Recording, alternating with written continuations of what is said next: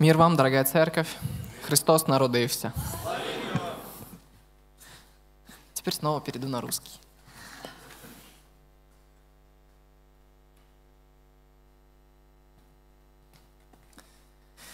Хотел бы вместе с вами открыть послание Иуды. Проповедь моя будет не рождественская, как город кровей на жатву.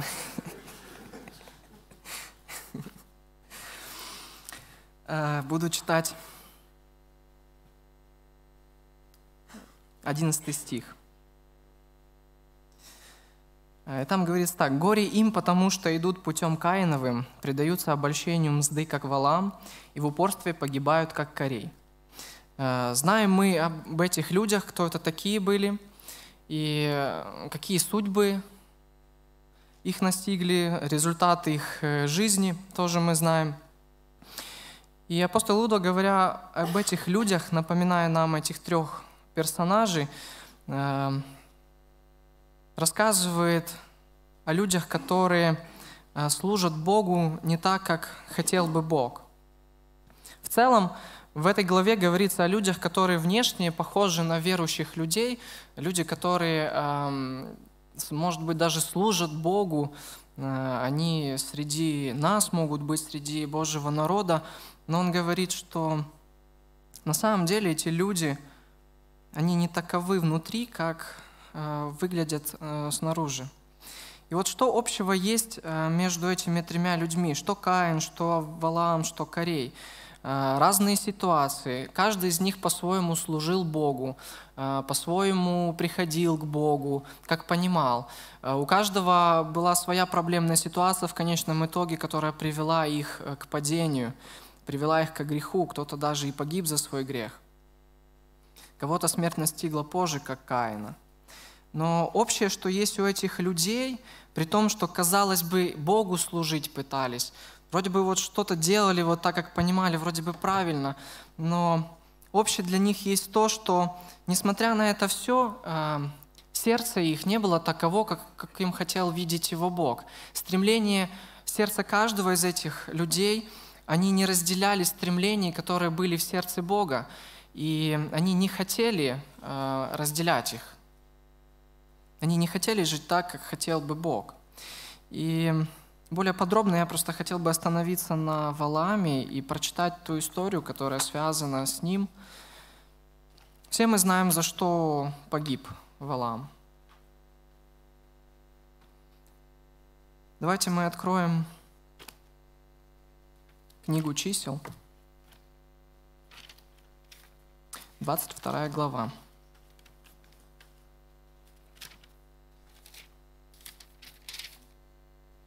Я буду читать эту историю отрывками.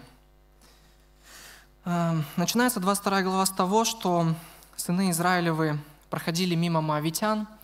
Э, Моавитский царь Валак увидел этот народ, убоялся его и захотел решить вопрос с ними для того, чтобы потом э, этот народ ему не доставлял никаких проблем, он хотел его уничтожить, и он знал, что э, в стране, в Пифоре, в городе Пифоре, живет пророк э, Валаам. Если этот человек захочет кого-то благословить, тот будет благословен. Если он захочет кого-то проклясть, тот будет проклят и погибнет. Он знал это и решил этого человека попросить купить его для того, чтобы тот исполнил его волю и проклял народ израильский.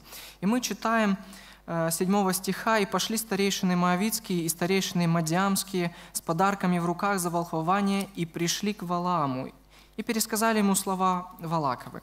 И сказал он им, «Переночуйте здесь ночь, и дам вам ответ, как скажет мне Господь». И остались старейшины Моавицкие у Валаама. И пришел Бог к Валааму и сказал, «Какие это люди у тебя?» Валам сказал Богу, «Валак, сын Сепфоров, э, царь Моавицкий, прислал их ко мне сказать, вот народ вышел из Египта и покрыл лицо земли, и так приди, прокляни мне его. Может быть, я тогда буду в состоянии сразиться с ним и выгнать его». И сказал Бог Валаму, «Не ходи с ними, не проклинай народа сего, ибо он благословен». И встал Валаам поутру и сказал князьям Валаковым, «Пойдите в землю вашу, ибо не хочет Господь позволить мне идти с вами». И встали князья Моавицкие и пришли к Валаку и сказали ему, «Не согласился Валаам идти с нами». Казалось бы, был хороший человек, и мы видим, все поступает так, как хочет Бог. Он говорит э, даже вот этим людям, подождите, я не могу сделать ничего, если мне не скажет Бог. Ну, это, это человек э, перед Богом, можно сказать, он праведен, без Бога ни, ни направо, ни налево, говорит то, что Бог хочет. Но уже здесь э, я лично вижу, что Бог ему сказал, ты с ними не ходи, и ты не проклинай этого народа.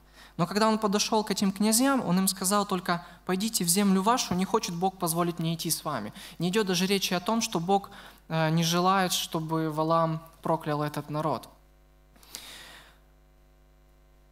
Из этого я лично вижу для себя, что да, он делал так, как хотел Бог, но при этом он не до конца разделял волю Божью. Он знает, что Бог хочет благословить этот народ, но видя те подарки, которые принесли ему люди, он хочет взять эти подарки. И он знает, за это ему нужно сперва проклясть народ. И, и в принципе для него это не проблема – и у него в сердце было это. Он хотел проклясть народ, он хотел получить за это потом те подарки. Но не совпадала его воля, стремление его сердца с Божьей волей. Но об этом он умолчал перед этими людьми. Если бы он сказал бы им, я думаю так, что если бы он сказал бы им, Бог сказал мне не проклинать этот народ, я не буду этого делать, все, они больше бы к нему не пришли. И вот так вот порой и мы, когда, допустим, сатана что-то предлагает нам, если мы сразу ему не скажем «нет», Бог запретил это брать. Мне это не нужно. Он придет снова и будет искушать. И мы видим, Валак, дальше написано, Валак послал еще князей, более знаменитее тех. И сто процентов эти люди принесли еще больше подарков. А сердце хочет этого. И ищет пути, как бы это что сделать. И пришли они к Валааму и сказали ему, так говорит Валак, сын Сепфоров, не откажись прийти ко мне. Я окажу тебе великую почесть и сделаю тебе все, что не, пожел... Э, что не скажешь мне. Приди же, прокляни мне народ сей». И отвечал Валам и сказал рабам Валаковым, «Хотя бы Валак дал мне полный свой дом серебра и золота, не могу приступить повеление Господа, Бога моего, и сделать что-либо малое или великое по своему произволу. Впрочем, останьтесь здесь и вы на ночь, я узнаю, что еще скажет мне Господь». И пришел Бог к Валааму ночью и сказал ему, «Если люди сии пришли звать тебя, встань, пойди с ними, но только делай то, что я буду говорить тебе». Валаам встал поутру, оседлал ослицу свою и пошел с князями Моавицкими. И вот видим в этой ситуации, снова они приходят, предлагают ему еще больше. Он знает волю Божию. Он знает, что Божье сердце хочет благословить израильский народ. Но вот это он снова выискивает, как бы вот обойти это. Он хочет проклясть народ. Но он опять же, не может э, сделать что-либо без воли Божией. он говорит, впрочем, вы подождите, и я пойду еще раз прошу. И Бог ему в этот раз говорит, пойди с ними. И, честно, я когда читал это, я не мог понять, Бог, ты говоришь сперва, чтобы не, не шел ты, потом говоришь ему, пойди. А дальше мы читаем в этой истории, что 22 стих пишет, «И воспылал гнев, гнев Божий за то, что он пошел». И дальше мы знаем, ангел стоял и хотел убить его за то, что он пошел. Ну, казалось бы, почему? Ты пошел э, по воле Божией, Бог тебе сказал, иди. А за это Бог хотел его погубить. Потому что в его сердце, несмотря на то, что, казалось бы, он шел по Слову Божьему, и путь э, Божий был, по воле его шел, но сердце его хотело не того, что хотел Бог – он хотел проклясть, а Бог хотел благословить, он хотел завладеть этими богатствами, Бог не хотел ему давать эти богатства. И в 30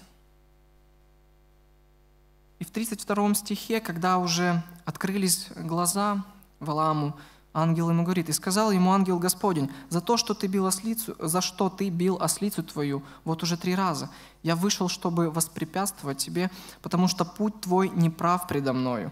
И ослица, увидев меня, своротила от меня вот уже три раза. Если бы она не своротила от меня, то я убил бы тебя, а ее оставил бы живою. Казалось бы, он идет по пути, который дал ему Бог, сказал, иди. А тут говорит ангел Господень, твой путь не прав перед Богом. И ангел подразумевает именно путь его сердца, который он выбрал. Ногами-то он шел по тому пути, как ему Бог сказал, все по Слову Божьему, но сердце его шло совсем другим путем. Для нас важно понимать, что неважно, куда наши ноги нас несут, э, в церковь они, допустим, но главное, чтобы при этом наше сердце тоже шло в Дом Божий. Если мы идем по воле Божией, по Слову Божьему, важно, чтобы сердце наше тоже шло по воле Божией и стремилось к Богу, исполнить Его волю, а не идти куда-то дальше или куда-то в другое место. Его сердце не тем путем шло. И Бог хотел об этом ему сказать. И в этом также я вижу Божью милость, потому что он мог бы и закрыть глаза ослице, и она бы ничего бы не увидела, а тот бы умер бы, и она осталась бы жива. Но Бог, с одной стороны, являет ему свою любовь, напоминая ему и пытаясь его остановить. И в этом он также проявляет свою строгость, потому что мог бы его убить. Бог э, понимал, что, может быть, э, Валам не до конца понимает, насколько серьезна эта ситуация и э, какой грех он перед Богом делает. Потому Бог хотел открыть ему глаза его, для того, чтобы он увидел. Но в тот момент он не понимал. И плюс еще у Бога была цель он позволил идти Валаму туда и сказал, ты будешь говорить то, что я хочу, потому что хотел благословить народ Божий. Благословение Божье никогда не будет лишним. И Бог это знает, и поэтому Он посылает этого человека. Если бы не хотел бы использовать его, то мы бы сегодня, думаю, читали бы историю о том, что ехал на осле Валам и убил его Бог на дороге. И на этом бы вся история закончилась бы. За тот грех, который был в его сердце. Но Бог и его любил, и народ израильский любил, и благословить народ хотел, и Валаама хотел вернуть, для того, чтобы он остановился, но не захотел этого делать. И дальше мы знаем о том, что он пришел туда, в ту землю. Он пришел, и несколько раз э, он ходил в разные места, ставил там жертвенники, и потом приносил там жертвы вместе с Валаком. Э, насколько были угодны эти жертвы Богу, тут можно сомневаться, потому что не говорил Бог ему там э, ставить эти жертвы. Бог четко в Писании говорит о том, что я покажу место, где вы должны будете мне приносить жертвы, и нигде больше не приносите их, потому что Богу не угодно это. Здесь э, Валам нарушал Божию волю. И он пытался, он искал, как бы проклясть народ. Об этом э, говорится во Второзаконии, в 23 главе, о том, что было на сердце у Валама, 4-5 стих, говорится так. «Потому они не встретили вас с хлебом и водою, аммонитяне и мавитяне, э, на пути, когда вы шли из Египта, и, и потому что они наняли против тебя Валама, сына Виорова, из Пефора Месопотамского, чтобы проклясть тебя. Но Господь Бог твой не восхотел слушать Валама, и обратил Господь Бог твой проклятие его в благословение тебе, ибо Господь Бог твой любит тебя. Место из Писания это говорит четко о том, что носил в сердце Валаам. В Божьем сердце для Израиля э, благословение, а в сердце у Валаама для Израиля проклятие. И он носится с ним, и он говорил Богу об этом. Но Бог не хотел его слушать. Он хотел благословить народ. В этом была э, ошибка Валама, был его грех. Он пытался проклясть, искал места разные и думал, что Бог, может быть, поменяет – свое мнение, но не до конца осознавал, что происходит. И дальше уже в 24 главе написано о том, что с первого стиха, если мы будем читать, Валам увидел, что Богу угодно благословлять Израиля, и не пошел, как прежде, для волхования, но обратился лицом своим к пустыне, и, взглянув Валам, и увидел Израиля, стоявшего по коленам своим, и был на нем Дух Божий. И произнес он притчу свою и сказал, говорит Валам, сын Виоров, говорит муж с открытым оком, говорит слышащий слова Божии, который видит видение всемогущего, падает на открытые слова его. Читая это место из Писания, я понимаю, что в тот момент, когда он увидел Израиль, когда здесь есть несколько толкований. То ли он увидел э, Дух Святой на Израиле, либо это Дух Святой на него сошел. Но не в этом суть. Здесь главное то, что когда в этот момент он увидел Израиль, Бог дал ему понимание, что это за народ. И тогда, в тот момент, он осознал свой грех, он понял, что он падает. Он говорит о себе, я падаю, падает, но открыты глаза его. Он понимал, что он падает – вот в тот момент пришло это понимание. Но он не захотел ничего с этим сделать. Мы понимаем, что э, изменить это он не захотел. Раскаяться перед Богом он не раскаялся. И падая, видя, понимая это, он все равно дальше шел. Да, он не проклял израильский народ, э, он в этом послушал Бога, но читая 11 стих, там написано, Валак говорит ему, «Итак, беги в свое место, я хотел почтить тебя, но вот Господь лишает тебя чести». Валам понимает, что из-за того, что он э, исполняет волю Божью, он лишается того, что хотел ему дать Валак, те богатства, то, что его влекло. И он этого не получит. И с другой стороны, я могу представить, что когда у человека большой статус, о нем все знают, какой он великий человек, и тут кто-то будет э, рушить его репутацию, мы можем пытаться любой ценой эту репутацию восстановить, либо не потерять, сохранить. И мы знаем дальше, Моисей в числах рассказывает о том, что тот самый Валам, хоть и не проклял народ, но нашел лазейку, как не упасть в глазах Валака и предложил ему, э, как совратить народ, как победить израильский народ. Казалось бы, не проклял его, но подсказал, как отвернуть Господа от своего народа, а народ от своего Бога. И за это он также понес наказание. Эта история нас учит тому, что неважно, мы можем, как Валам, просить у Бога воли, как же нам поступить. И, казалось бы, поступать так, как хочет Бог. Внешние люди будут нас видеть таковыми и говорить, о, это человек Божий. Но Бог э, для себя четко определил, и Он хочет, чтобы мы понимали, Ему в первую очередь важно, какими путями ходит наше сердце. Ходит ли наше сердце Его путями? И, соответственно, мы все, и это люди видим, и Бог видит. Либо мы, может быть, внешне как бы на Его пути, а сердцем мы идем своим путем, и что-то нас влечет, что Богу не угодно. В мире сейчас этого полно. И нам важно следить за тем, чтобы наше сердце было с Господом и стремилось к Нему. Праздники, э, мы вспоминаем о рождении Иисуса Христа, мы вспоминаем ценность Его рождения, о том, что Он сделал для нас. Это хорошо, да. Мы знаем, кто такой Бог. Но чтобы это все не было просто как религиозность, просто вот мы вспоминаем, но чтобы в сердце нашем э, действительно было место для Господа и для Его воли, для Его Слова, чтобы наше сердце было с Ним и разделяло Его стремление, чтобы мы были эм, один дух с Богом, как говорит Писание, чтобы наше сердце было единым целым с Божьим сердцем. И тогда мы не будем, как валам, внешне идти так, как говорит нам Бог. Мы будем четко понимать Его, мы не будем Его искушать, как это Валам. Впрочем, пойду еще раз прошу, и Бог говорит, пойди. Но он просто искушал Бога.